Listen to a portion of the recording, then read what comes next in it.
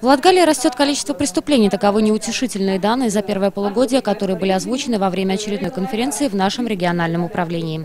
Судите сами, только за первые шесть месяцев в Латгальском регионе было возбуждено 1220 уголовных дел. За тот же период прошлого года таковых было 1068.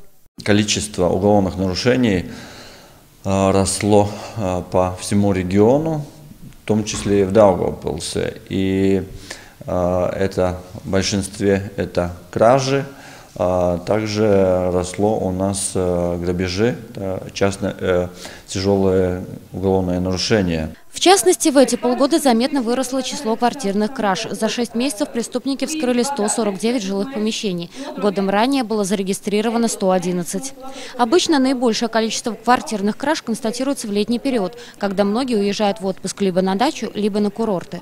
Сотрудники полиции советуют в это время или просить соседей присмотреть за квартирой, или воспользоваться услугами охраны фирмы. И поверьте, металлические двери дом не уберегут.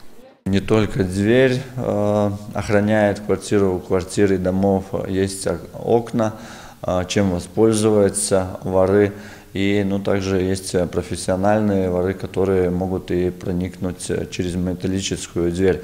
Потому э, фактор, человеческий фактор, если он, есть сосед бдительный рядом, есть охранная фирма, которая а, всегда рядом у имущества, это намного надежнее, чем металлическая дверь.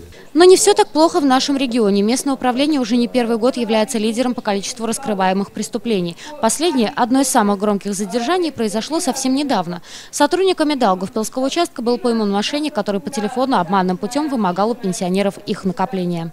В Лагайском регионе практически укомплектовано стопроцентно а, наши э, штаты, и у нас стопроцентное количество работников и профессиональных работников э, сравнительно э, в Курзамском регионе больше, чем 100 вакансий, и что обязательно отзывается на работу полиции.